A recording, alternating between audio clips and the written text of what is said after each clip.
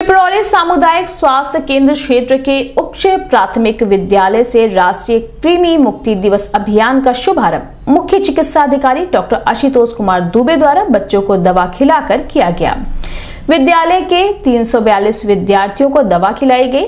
ज़िले के सभी ब्लॉक के 5001 स्कूलों और चार आंगनवाड़ी केंद्रों पर 1 से 19 वर्ष आयु वर्ग के लाभार्थियों को यह दवा खिलाई जाएगी।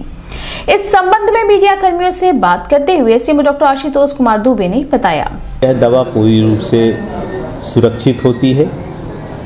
ये एक वर्ष से दो वर्ष तक के बच्चों को जो है आधी गोली दी जाती है। दो से वर्ष से लेकर के 19 वर्ष तक के बच्चों को पूरी एक गोली खिलाई जाती है। एक और दो वर्ष के बच्चों को जो है दवा चम्मच से पीस करके पिलाई जाती है। बाकी बच्चों को पूछ कर खिलाया जाता है।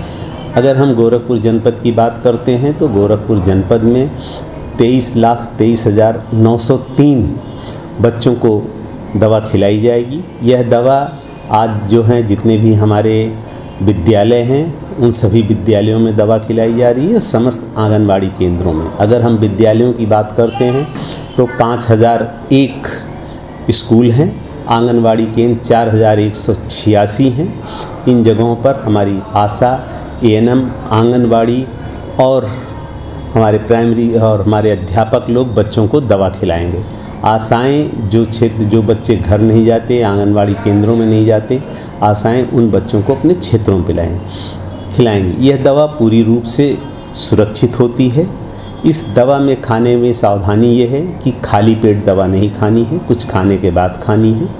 और जो लोग बीमार हों या कोई अन्य ऐसी औषधियाँ चल रही हैं, उन लोगों को यह दवा नहीं खानी है। दवा खाने के बाद लाखों में एक आध लोगों को चक्कर आ सकता है, उल्टी हो सकती है, पेट दर्द हो सकता है, या मिचलाहट की संभावना हो सकती है। अगर ऐसा किसी को होता है तो तत्काल अपनी आशा, एएनएम या एमओआईसी को सूचना दें। या हमारा टोल फ्री नंबर जो है 104 पर सूचना दें। और अगर कोई असुविधा होती है तो तत्काल 108 की एंबुलेंस